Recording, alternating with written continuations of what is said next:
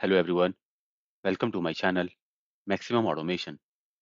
Today in this video, I'm going to show you how you can integrate your scripts with Jenkins for CI/CD setup.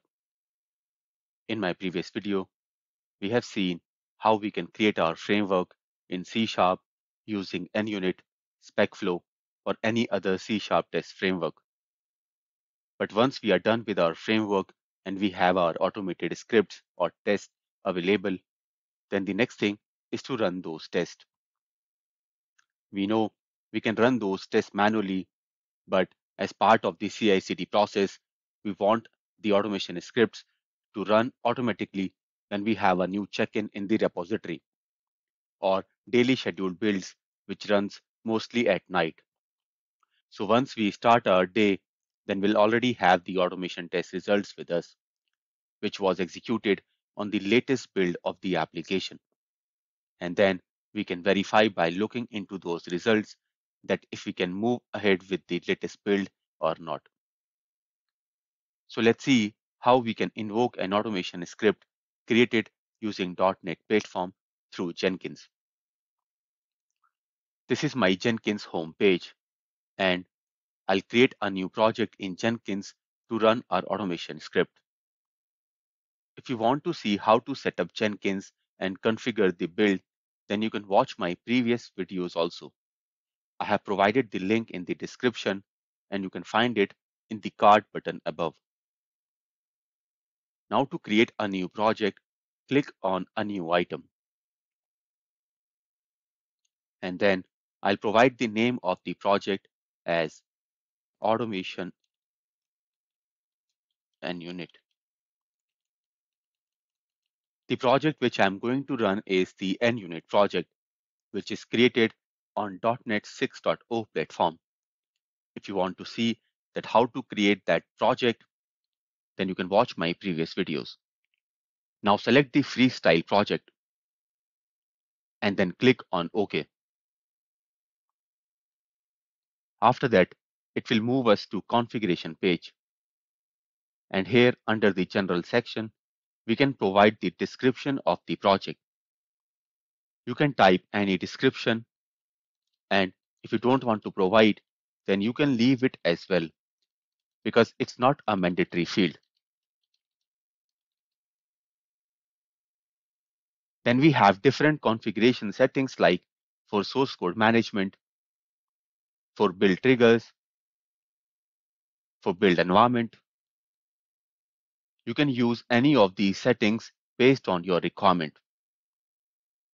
Now the most important part in the configuration is the build step, where we have to provide the details of how we are going to build the project to run our automation test. Here, if I click on add build step, then we can see these options which are coming by default. Like if you want to run shell script or window batch command, to build or invoke your project. But for our case, nothing is listed here which we can build for our .NET test project. So to get the list of the items here related to the .NET platform, first we need to install a plugin for the same. And to install it, we need to go back to the dashboard. Click on Manage Jenkins and then choose Managed Plugins. Then here select the Available tab and type .NET SDK. Here we got the plugin for .NET SDK support. Check this plugin and install it. This will take few minutes to download and install the plugin. Once downloaded, then we can utilize the .NET SDK to build our project and to run the unit tests.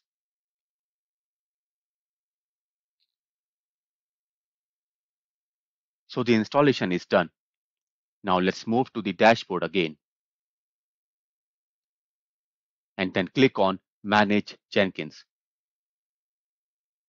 Select Global Tool Configuration and then move down to the .NET SDK configuration.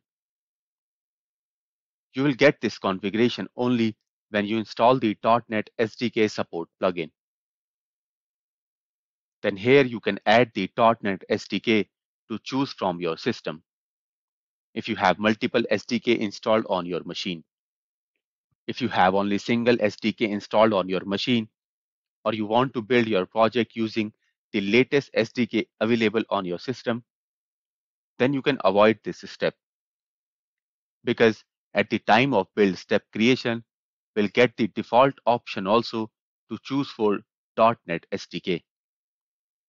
But if you want to create configuration based on different SDKs, then you can provide the name of the configuration here. Then here, it provides the option to install the SDK automatically. You can choose this option if you want Jenkins to install the SDK for you. But if SDKs are already installed on your machine, then you can uncheck this option. And then provide the install location of the SDK.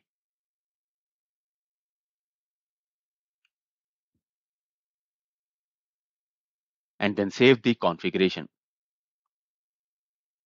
Similarly, if you want, you can add different .NET SDK configuration based on different versions. Now let's move to the project and choose the configure option. Then move to the build steps again.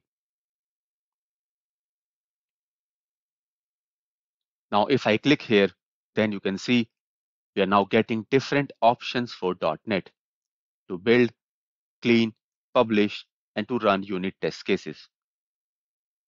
Now I can choose different options to build a pipeline for my .NET project. First of all, I'm going to choose the .NET Clean option to clean the build directory. And then we can provide the .NET SDK to clean the project output directory. You can see here we are getting two options. One is for default SDK and the another one is for .NET 6, which we have just configured in the global configuration. In case of default SDK, it will pick the latest SDK details from your machine. But if you want to use any specific SDK version, then you can create the configuration and then choose the option from here. Right now, for me, both default and .NET 6 option points to the same SDK, which is .NET 6.0. So if I choose default instead of .NET 6, then also it will pick the same SDK. After that, provide the project or solution path. So let me copy the project path.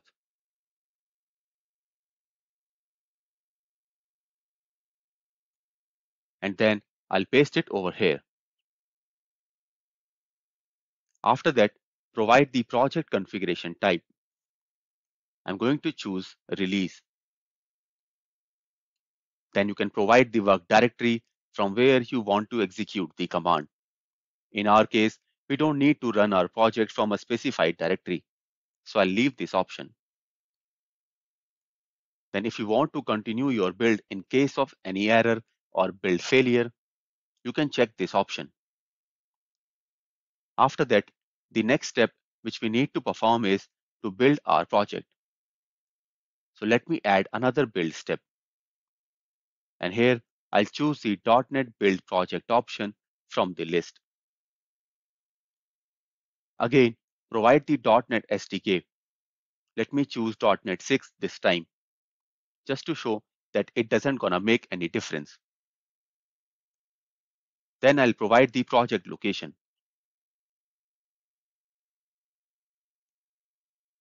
I'll leave all these fields and we'll check this continue on error. And then the final step is to run our test. So let me choose .NET Run Unit Test option from the list. I'll again choose default option for .NET SDK.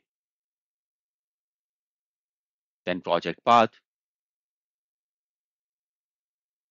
Configuration I can choose as release And again, we don't need any work directory to run our test. And here you can see we have more configuration options while running the test. You can choose these options based on your requirement. Currently, the option which I have selected is the bare minimum which we need to provide to run our automation test. Now let me save the configuration. And if I again go to the build steps under configuration, then we can see first it will perform the step to clean the project. After that, it will build the project. And at last, it will run the test. The test run command also builds the project. So if you want, you can remove this extra build project step because that will be taken care of by .NET test command as part of its prerequisite. Now we have only two steps. One is to clean the project output and the other one is to run the test. So let me save the configuration changes. And we'll go back to the project. So we have created our project to run the automation test using our .NET project. Now let me click on Build Now to trigger the build. You can see here the build has been triggered. If I click on this build, and if I'll move to the console output, then here we can see the generated logs. We can see first it runs the .NET clean command to clean the project output. And then the .NET test command to run our tests. We can see that the execution has been started. Now it will run all the tests available in our project. And once the execution is done, then we can see the last triggered build status in Jenkins, whether the build is passed or failed. So this way, you can execute your automation test created using a .NET project.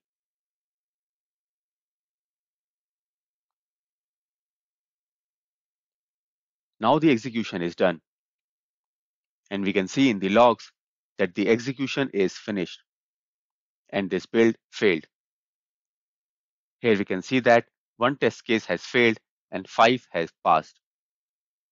And we can see the reason for failure as well, that no such element exception because it could not find the element with this locator. So this is how you can execute your automation test created using a .NET project. That's it for today. I hope you liked this video. Please put your comments in the comment box in case of any query. Also, please do not forget to like, share, and subscribe to the channel. Thank you.